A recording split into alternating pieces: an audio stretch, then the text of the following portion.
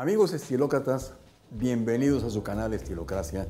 Como siempre, ya saben que esta es su casa. Fíjese usted que todas las normas de urbanidad, las reglas de buenas maneras, las reglas de sastrería, se han ido relajando. Se han ido relajando para bien porque se trata de hacer la vida un poco más cómoda.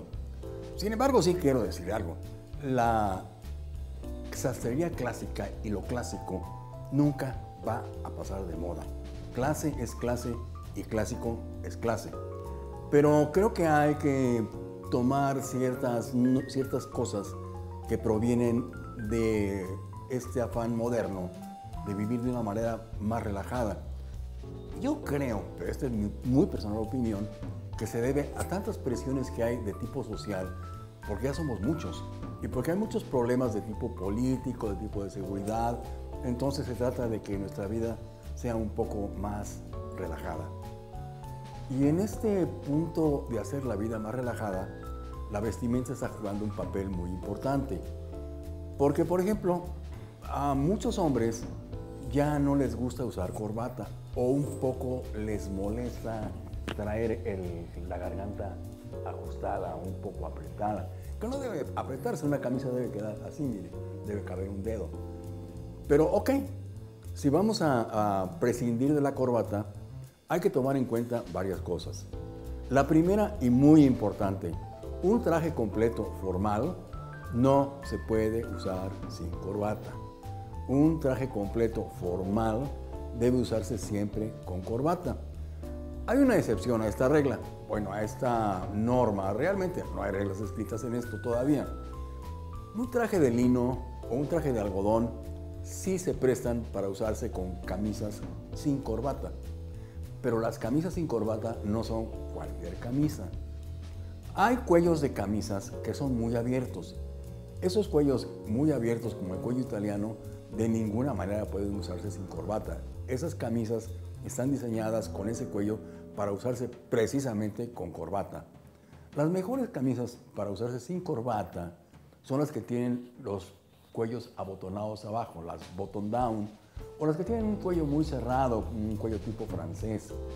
Esas son las que se pueden usar perfectamente sin corbata. se desabrocha el botón de hasta arriba y si quiere abrochar el siguiente botón hacia abajo, tiene usted que ser muy cuidadoso de que la camiseta, si es que usted porta camiseta, no se asome. Si trae una camiseta de estas de cuello redondo, se va a asomar y eso no, no le añade nada de estilo a su imagen, por el contrario, más bien se la va a manchar, se la va a deteriorar o incluso a arruinar. Hay camisetas que traen el cuello en B o las camisetas de tirantes, las cortas, que también son, son de cuello hasta abajo, que esas no se ven y puede usted muy bien abrochar el de arriba y el que sigue. Abrochar también el que sigue es no traer camiseta, pero es un poco, un poco de audacia. Realmente hay que, hay que tener muy buena actitud, estar muy seguro de sí mismo y tener un, buen físico, un buen cuerpo, para que si va a lucir su, su físico, pues que de, veras téngalo, porque si no lo tiene, nada más se van a reír de usted. Por eso le sugiero que, realmente desabroche el primero y en todo caso el segundo botón y no más. Ahora bien, cuando se usa un saco o un blazer sin corbata, el pantalón debe ser también un poco más informal. Yo ahí tengo un punto de vista muy personal. Es mío, no, no es una norma, no es una regla.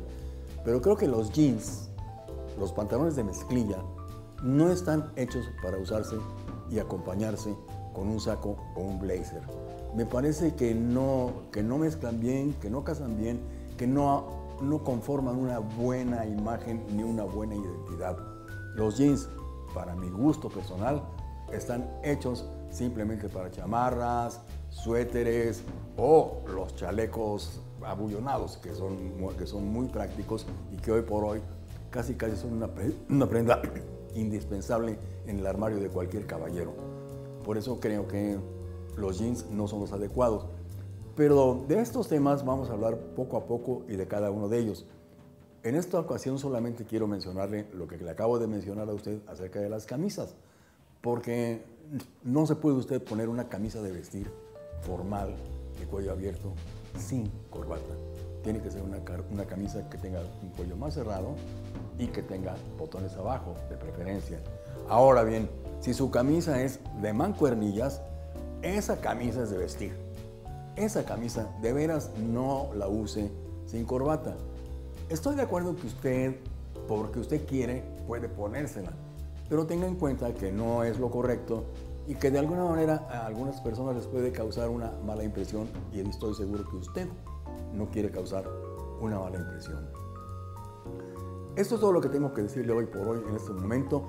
Van a seguir mis cápsulas respecto a las nuevas vestimentas y a las nuevas normas de sastrería y a la nueva forma de vestir entre la gente muy joven y entre la gente no tan joven. Pero deme tiempo, por favor, téngame paciencia y le vamos a subir todos los videos correspondientes. Por lo pronto, le agradezco mucho su atención a este video y le recuerdo darle like a mi video, suscribirse a mi canal y tocar la campanita para saber que hay otro video más en el aire. Muchas gracias.